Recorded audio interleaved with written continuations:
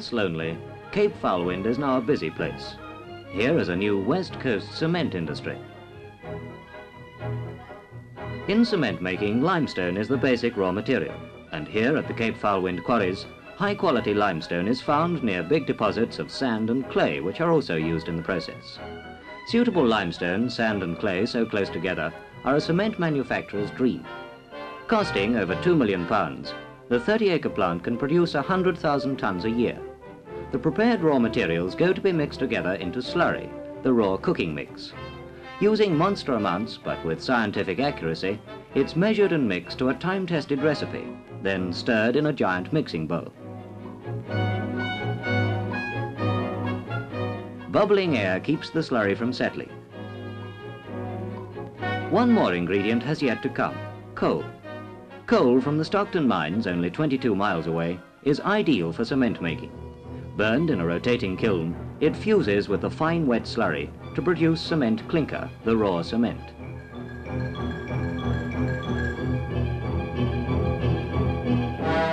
At the footplate of the kiln stands master burner Peter Hyde. He sees that inside the kiln, powdered coal, air and slurry burn in exactly the right way. The cement is made. Now it must go to the customers. 15-ton tankers take the bulk cement to the packing plant in Westport, six and a half miles away. Westport is the administrative headquarters of this new company, geared to send out 1,800 bags of cement an hour.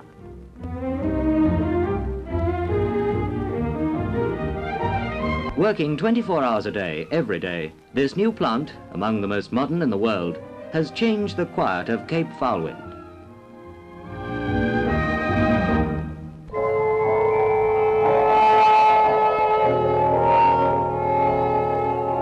There are some unusual features in some of the buildings being erected in New Zealand that indicate new trends in design. Architecture is continually changing, of course, but today new principles are being applied. In the past, we put up walls and then put a roof on top. The walls took the weight of the roof and supported it. Then in the walls, we made holes but we had to be careful where we put them, and we couldn't have too many, or maybe the roof would fall on our heads.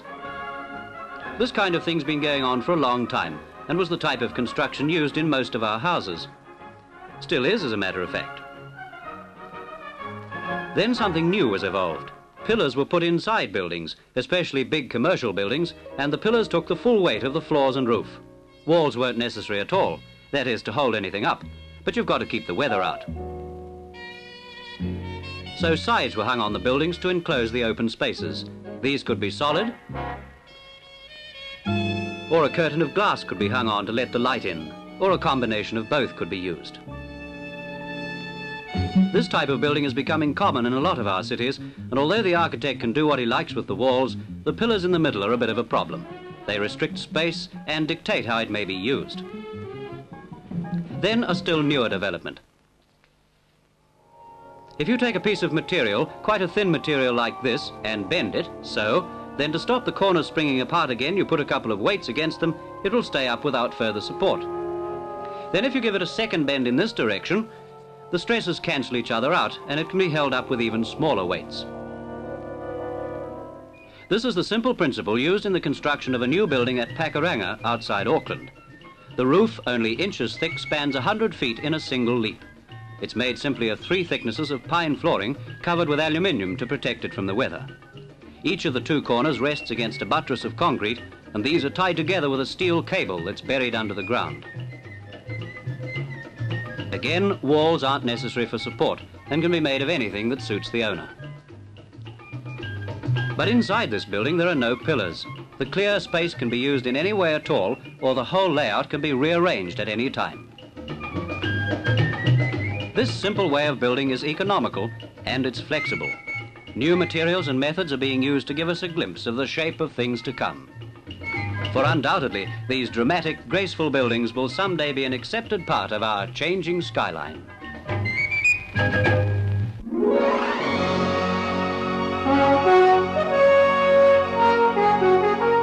It's lunchtime for the men working on the million pound scheme of flood control for the Orari River. Planning and supervising the scheme are engineers of the South Canterbury Catchment Board. Though only a short river, the Orari is troublesome. Instead of sticking to its own bed, it's inclined in flood times to wander across country and join up with the Temuka. From the foothills to the sea is only 24 miles, but in 1945's flood, the Orari did just on a million pounds worth of damage. To prevent flooding, the essential problem is to get rid of the shingle which the river brings down from the foothills. The only way to do it is to let the river carry the shingle out to sea. Since 1946, it's been a three-stage plan. First was cleaning the riverbed of the hindering willows.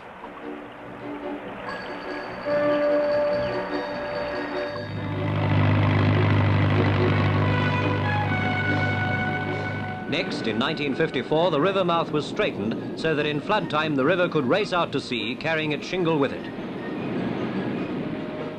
And the biggest job of all, repairing and rebuilding the 30 miles of stop banks. For the last four years, this work has been going on, and it's now at its peak. There's another four years of work ahead.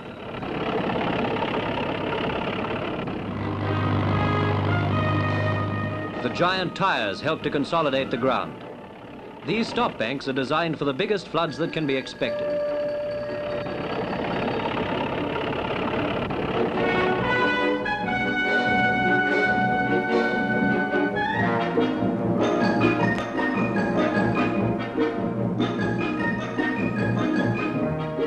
Grading the stop banks is the final refinement.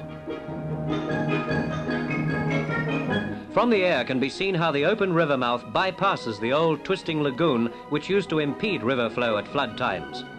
Now water and shingle can go straight out to sea.